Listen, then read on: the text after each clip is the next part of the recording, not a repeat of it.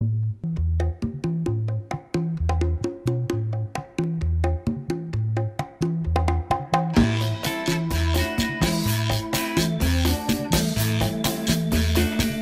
morning, welcome to the Community Review on Hot 92.3. I'm Josefa Salinas, your host. Latin music, Latin movies. You can't get away from the Hispanic influence and culture in this country. It's touching everything, everywhere. And the census report has told us that it's only going to grow. There's a famous, famous, famous Latina who I had the honor of meeting back in the 90s when I was at Power 106 she and I had several conversations, and we were actually in a magazine together. Hmm. Her name was Selena, and she was taken from us far, far, far too soon. What an amazing talent. I remember the first time I got to play her song on Power 106, you know, Dreaming of You, and it was just, it's just such an amazing talent. So I'm always looking for amazing Latinas to promote. And I've got one sitting here with me right now. Latin recording artist TeCheetah is in the house going to talk with us about what she's got going on, where she's going, and what she hopes to bring to the airwaves. Good morning. Much going on. Let's talk about this Selena conne- connection right now. Well, um, I was given the honor actually about, uh, it was about three months ago. I received a, uh, a telephone uh, call from a gentleman by the name of Christopher Troy. Christopher Troy apparently back in 1995 was uh, touring uh, with the Johnny Canales show uh, he is a promoter along with Mr. Zach Harmon. They are producers with, they were with Michael Jackson, uh, ATV, and publishing at the time. They were asked, uh, at the request of Selena's uh, family, her father, her brother, herself, they wanted, uh, they were going to complete the rest of her English pop right. crossover yeah, because she was right in the middle of yeah, doing she, that big crossover. Exactly. She had only completed, I believe, four songs and then she was supposed to complete the rest. At that time, there was a lot of R&B producers, and I don't know if everybody wanted, knew at that time that didn't want to get into the Latin music per se. So uh, uh, Mr. Christopher Troy and Zach Harmon agreed to go ahead and do that. Uh, unfortunately, uh, at the family's request, when they came back and they composed the music for Selena uh, in the format of for Selena, they received uh, a phone call before media broke that she had been shot. Um, they didn't know what to do. So um, she never got to hear it. She never even got to grace her voice on it, but it was her music. Mm-hmm. It has been sitting there, Josefa, for the last 16 years in his studio. Mm-hmm. And he called me and asked me, I'd like for you to do that music. Will you do it? And put, can you put her her, her uh, spirit in it. If you want to, and you know, he said if you want to, we can just we, we can just have you do it. You know, mm-hmm. considering that I just came out an album with one of the Commodores and uh, Jesse Johnson at the time, and I the spirit of Selena.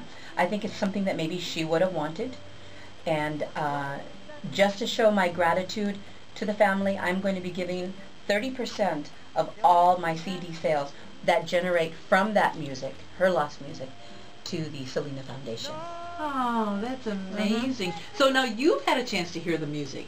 You've had a chance to see the um, the lyrics. The lyrics are all written. But again, it was formatted for Selena, so they couldn't give it over to another uh, R&B, uh, right. uh, uh, you know, um, artist. Artist. Uh-huh. Uh, so it was just sitting there. They didn't know what to do with it, right? And they were just gonna. I, well, he said he didn't know what to do with it. So until he met me and saw me, and there was a lot of things that tra- has transpired in my life that has led me to believe that this is what I'm supposed to record. Before I even um, accepted Mr. Christopher Troy's offer, I called uh, her family. Go, go to the source. So uh, her brother, A.B., said he remembered Mr. Troy. So um, I picked up the phone and I talked to her dad. So I spoke to her dad and I pretty much asked him for their blessing. I wanted their blessing. Right. So uh, quoting his words, he said, you know, young lady, if um, if this is all true and then the music is going to be yours, uh, I would run with it. You know, uh, but you know, I, I do want to put it for the record that she didn't, she was never able to get to hear it. She was never able to grace her voice on it, but it was for her. Right. It was, it was for, right. it was for her. complete her album. Yeah. So she was going to do it in English for the English market, Mhm. well, I'm I'm not going to do it in English. I'm going to give it back to the Latin community, and I'm going to go ahead and do it in all Spanish. Oh, well, go, come on, do at least an English version of it because that was one of the beauties of Selena. She opened the door for Latin music and the people to hear Latin artists but appreciate it in English and mm-hmm. then she also, because a lot of her shows were English and Spanish, at least Yes. consider it, please, because there's such an audience out there that wants to hear, but if they don't understand Spanish, it kind of stops them from enjoying You know, you have a point there. Okay, just for know? you, I will. at least Just for You know. Consider it because now you're opening up the door. Yes, we have a, a huge Spanish-speaking audience that will love this music and just be so happy, but there's also a huge English-speaking audience that will love this music and support it. Yeah. But it's difficult to support something If you don't don't- understand the words. And you're right because that's one of the reasons she wanted to do the English crossover is Yeah. because um, she wanted a lot of her fans to understand, you know, what she was saying. Uh, I just want to make sure because you know I know that now that I'm going to be doing that music that was, and I always want to say the music that was slated for Selena. I always want to make sure everybody realizes that I'm not taking something that she did and trying to be like her. Right. I am not trying to replace her. I'm trying just to Honor honor, Honor what her. would have been hers. Mhm. And that's all I'm trying to do. And I, I could have just did it and, and, and, and, whatever comes, may it, they may like me, maybe not like me, right? Mhm. But it's something that I feel that I have to do in my heart. Mhm. And I, I truly believe it's something, because the things that have been happening, Jo- Josefa, in the last four years, when I got interviewed on uh, on my album, this last al- album, Abrázame, when the man that interviewed me, when I found out that the last person he interviewed was Selena before she passed away, and that was Mr. Pete Moraga, and he agreed to interview me, right? And then shortly after that, I found myself at the Latin Grammys with her brother, and then I found myself as, at also at his CD release party. Maybe there's something you're supposed to do, something, you know, because I'm a very spiritual person. And then all of a sudden I get this phone call, and I'm like, you know what? All of that led you to the phone call. Yeah. Well, you know, I'm so happy because I remember when she was, you know, preparing to do the crossover, which meant she was going to do an album in English Mhm. because she knew her fan base had grown so much. I mean, those songs were like the hottest requested songs on the Slow Jam show with Selena. And she knew that she had a market in the English audience, which is why I, you know, said so strongly, please consider Yeah. doing the, uh, the album in English and in Spanish because that's the way it would have been done. And if it's going to be done in the spirit of her, then let's honor that final spirit and where that spirit was. And um, I, I'm not embarrassed of my age. I am I am six years older than Selena would have been today. Sit and listen to this music and let it just speak to me, right? And uh, again, I'm going to do everything I possibly can to um, to give the fans back something that she could have given back because I honestly feel it was hers. You know, even though she never got to hear it or get to sing to it, Good. it was something that she requested. Well, there was a reason why it was put in your lap, Hmm. and I've heard you sing, so Ah. I know that you are going to be able to rock Ah. the music, and I cannot wait. I hope if you are you going to record here in LA. Uh, yes, uh, yeah. Oh well, let me know when you do, because I would love to come to studio. And excited because I I kind of feel like I'm a part of it in some way because Yeah, you are. she and I she and I were um, you know I'm not gonna say we were friends, but we knew each other and we were in a couple of magazines. She was on one side, I was on the other, you know, on the same issue, and so and it was at a very important and special time in my life when I met her, and I'm so proud now to be here and be a part of this, to still be in radio all these years later, and now to come across this project and to know that I'm going to be there while it's being done. And remember, her Spanish was not so good. She had to learn some Spanish in order to do a lot of her songs. So you're actually, you know, we're honoring a big thing here. Well, you're looking at the same person. Mm-hmm. I've, I had to learn Spanish also. I am a Chicana, just like she was. I was born, I was, I was raised exactly the same way. Mhm. I, I remember when I saw the movie uh, Selena, and I said to myself, that's exactly me. I create my own clothing line. I started when I was 14 years old, and I've been singing since I was a Latina. That's I I realized that when I sang in Spanish, so I taught myself how to sing in Spanish. And sometimes I didn't know some of the words I was singing right, but my grandparents always told me, si me quieres hablar en español, eh, eh, si me quieres hablar, háblame en español, porque si no, no me vas a hablar. And I, since early, and, and for those who didn't understand that, my grandparents used to say, you're, you're going to talk to me. you're going to talk to me, talk to me in Spanish, mm -hmm. or don't even talk to me at all. And believe me, if I wanted something from my grandparents, I needed to talk to them in Spanish.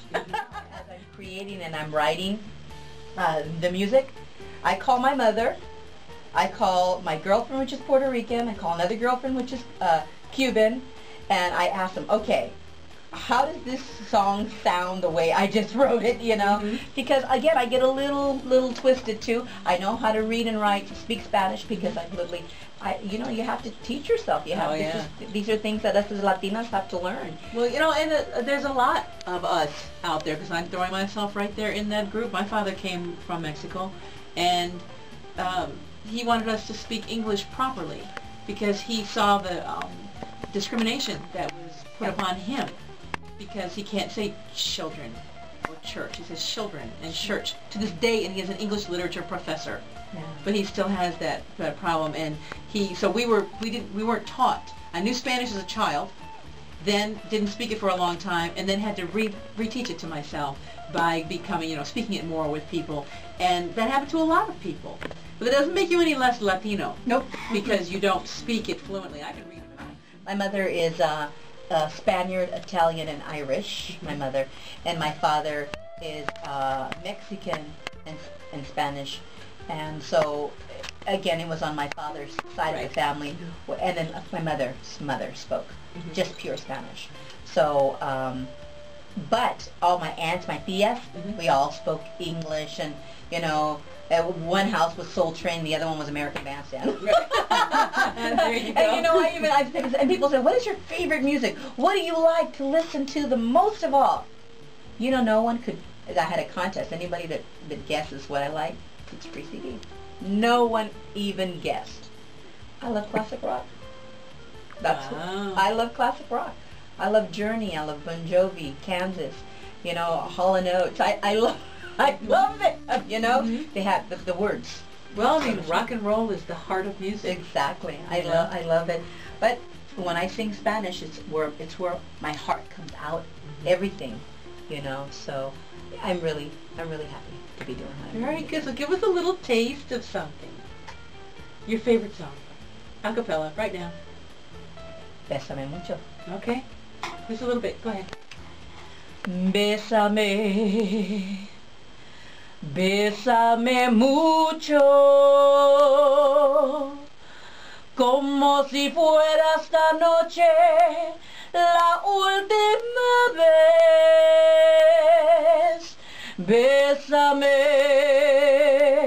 Bésame, mucho, que tengo miedo perderte, perderte después. Nice! I cannot wait until you start working on this project in honor of Selena. Yes. And as often as you can come back and let us know what's going on, please come back and see us. We'll be with you every step of the way. And when it comes out, it will be my pleasure to help you let the world know that this is being done